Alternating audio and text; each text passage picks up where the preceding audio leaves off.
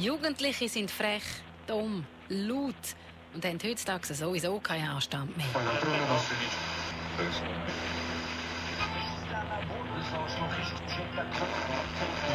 So sieht oft uns an.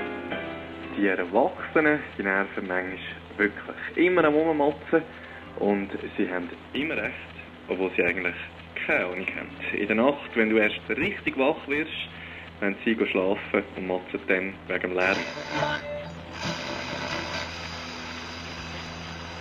Mich nervt es an den Erwachsenen, dass sie immer gerade mit ihren Vorurteilen gegenüber den Jugendlichen kommen. Mich nervt an den Jugendlichen ihren unkontrollierten Alkoholkonsum.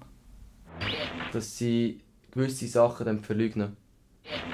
Ich schätze an Jugendlichen ihr Selbstvertrauen.